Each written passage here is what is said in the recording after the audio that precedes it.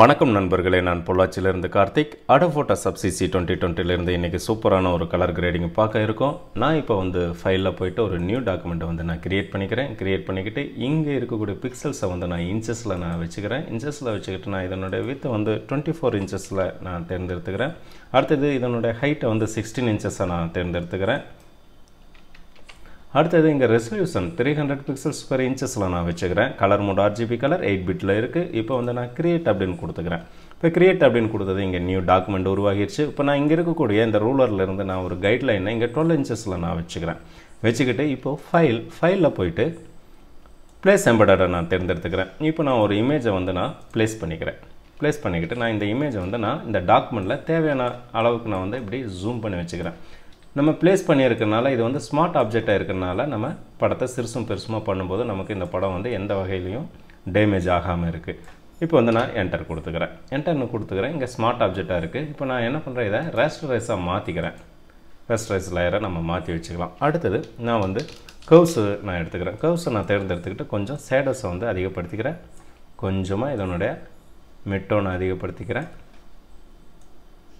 So இந்த அளவுக்கு நான் வச்சுக்கிறேன். அடுத்தது இந்த லேயரை நான் என்ன பண்ணுறேன் கீபோர்டில் கண்ட்ரோல் ப்ரெஸ் பண்ணிக்கிட்டு இங்கே இருக்கக்கூடிய இந்த லேயரை கிளிக் பண்ணுறேன் இப்போ இந்த லேயர் மட்டுமே நமக்கு செலக்ட் ஆன ஆகிருக்கிறது நம்ம பார்க்கலாம். அடுத்தது என்ன பண்ணுறேன் இங்கே இருக்கக்கூடிய இந்த அட்ஜஸ்ட்மெண்ட் லேயர் மாஸ்க்கு கிளிக் பண்ணிக்கிறேன். கிளிக் பண்ணிக்கிட்டு இந்த கிரேடியண்ட்டை நான் தேர்ந்தெடுத்துக்கிறேன். கிரேடியண்ட்டை தேர்ந்தெடுத்துக்கிட்டு இங்கே இருக்கக்கூடிய இந்த ஃபில்டரை நான் தேர்ந்தெடுத்துக்கிட்டு பேசிக்கில் ஃபஸ்ட் இருக்கக்கூடிய இந்த டிரான்ஸ்பரன்சி அப்படின்ற இந்த ஃபில்டரை தேர்ந்தெடுத்துக்கிறேன். தேர்ந்தெடுத்துக்கிட்டு இந்த பக்கம் இருக்கக்கூடிய இந்த பிளாக் கலரை வந்து நான் டெலீட் பண்ணிக்கிறேன். நமக்கு ஒரு கலர் போதுமானது. இப்போது இந்த பக்கம் இருக்கக்கூடிய கலரை நான் தேர்ந்தெடுத்துக்கிட்டு நான் என்ன பண்ணுறேன் கலரை நான் ஃபஸ்ட்டு ஒயிட்டில் வச்சுக்கிறேன். இப்போ இந்த படத்துக்கு வந்து ஒயிட்டு சரியாக இருக்கும் அதனால் கொஞ்சம் வாமான ஒரு ஃபீலிங் வந்து நம்ம கொடுக்கலாம் அப்படின்னு நினைக்கிறேன். ஸோ அதுக்காக நான் என்ன பண்ணுறேன் அப்படின்னா ஒரு ஆரஞ்சு ஒரு ப்ரௌன் அந்த மாதிரியான ஒரு கலரை வந்து நான் தேர்ந்தெடுத்து பார்க்குறேன். ஸோ அதில் எது சரியாக வருமோ அதை வந்து நம்ம இங்கே வச்சுக்கலாம்.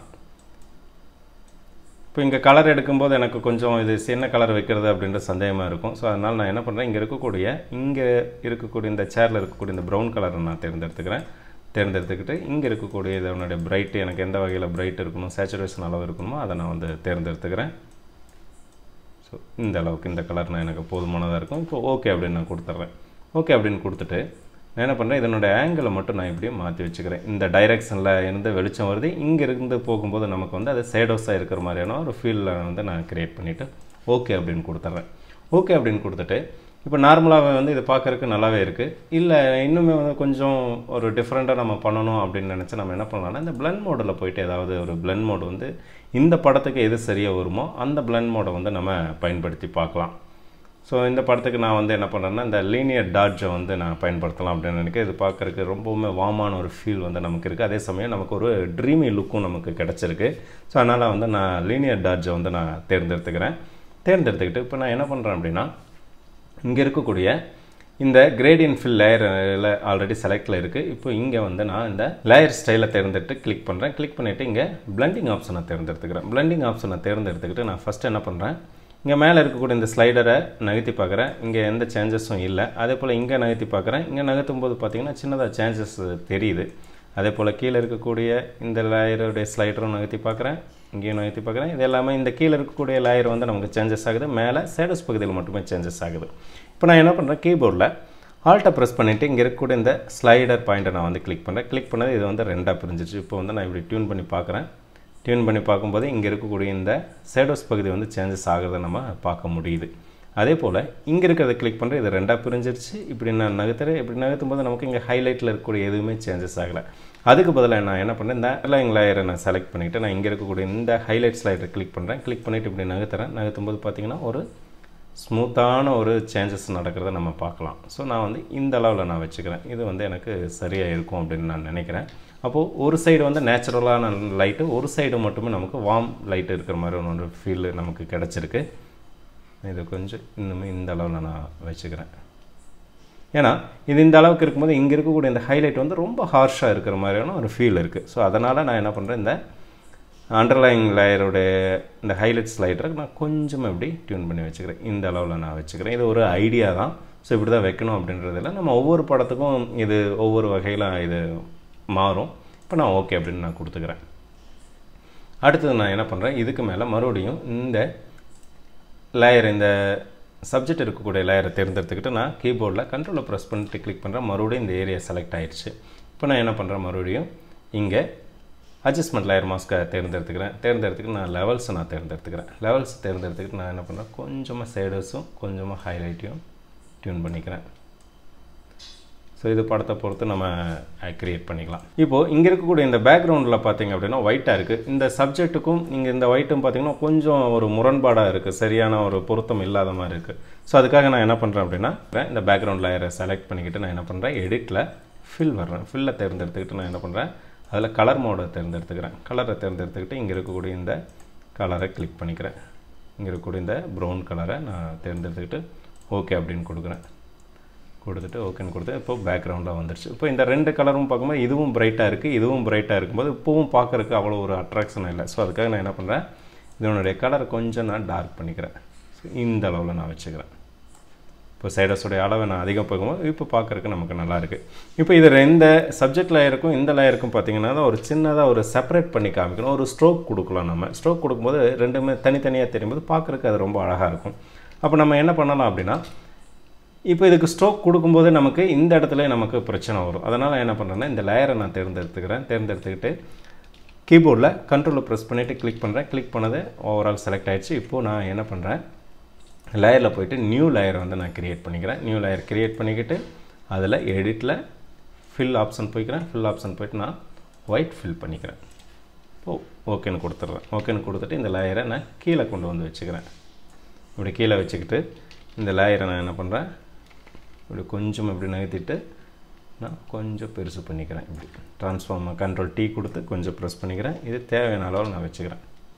இப்போது நமக்கு இது ரெண்டுமே நமக்கு செப்பரேட்டாக தெரியுது. பார்க்குறக்கு அது கொஞ்சம் நல்லாயிருக்கு ஸோ நான் இதை இனிமேல் கொஞ்சமாக நான் நகர்த்தி வச்சுக்கிறேன். இந்த அளவில் நான் நகர்த்தி வச்சுக்கிறேன். தேவைப்படுற அளவுக்கு நம்ம சிறுசாவோ பெருசாவோ இதை நம்ம வச்சுக்கலாம். ஸோ இந்த அளவில் நான் வச்சுக்கிறேன். இது ஒரு ஐடியா தான். இதை இப்படியே தான் வைக்கணுன்றதுல ஒரு ஐடியா நம்மளுடைய கற்பனை வளத்துக்கு தகுந்த மாதிரி நம்ம எப்படி வேணாலும் நம்ம அதை மாற்றி வச்சுக்கலாம். இப்போ இன்னும் இதில் என்னன்னா இங்கே ஒரு டெக்ஸ்ட் வந்து நம்ம ஆட் பண்ணிக்கலாம்.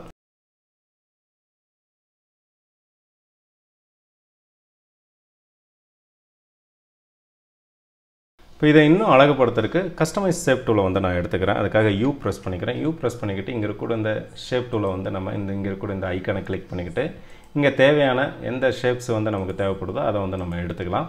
இப்போ வந்து நான் ஃப்ளார்ஸை நான் எடுத்துக்கிறேன். ஃப்ளார்ஸ் எடுத்துக்கிட்டு நான் இங்கே இருக்கக்கூடிய இந்த ரோஸை நான் தேர்ந்தெடுத்துக்கிறேன். ரோஸ் தேர்ந்தெடுத்துக்கிட்டு தேவையான அளவுக்கு நான் இப்படி வந்து ட்ரா பண்ணிக்கிறேன். ட்ரா பண்ணிவிட்டு நான் ஒரு கலரை வந்து நான் தேர்ந்தெடுத்துக்கிறேன்.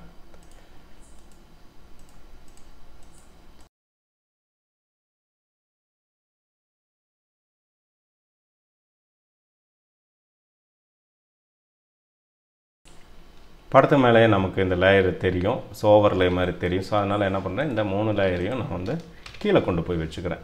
இந்த டாக்குமெண்ட்டுக்கு அவருடைய பேக்ரவுண்டு லேயருக்கும் மேலே இருக்கிற மாதிரி வச்சுக்கிறேன். வச்சுக்கிட்டு நான் இதை தேவையான வகையில் சிறுசும் பெருசுமாக வச்சுக்கிறேன். இது வந்து ஒரு பேட்டர்ன் மாதிரியான ஒரு அமைப்பில் நான் வந்து வச்சுக்கிறேன். ஸோ இது எல்லாமே ஒரு ஐடியா தான். இப்போ இது எல்லாத்தையும் நான் வந்து செலக்ட் பண்ணிவிட்டு கண்ட்ரோல் இ கொடுத்து நான் மெர்ஜ் பண்ணிக்கிறேன். மெர்ஜ் பண்ணிவிட்டு இன்னுமே இதனுடைய ஒப்பாசிட்டியை இன்னுமே நான் வச்சுக்கிறேன். ரொம்ப மைல்டாக தெரிகிற மாதிரி நான் வச்சுக்கிறேன். ஸோ இந்த அளவுக்கு நமக்கு போதுமானதாக இருக்கும். அடுத்து இதில் நம்ம என்ன பண்ணலாம்னா ஒரு சின்னதாக ஒரு ஃப்ரேம் க்ரியேட் பண்ணிக்கிட்டு அதுக்குள்ளே ஒரு இமேஜை வந்து நம்ம இன்சர்ட் பண்ணிக்கலாம்.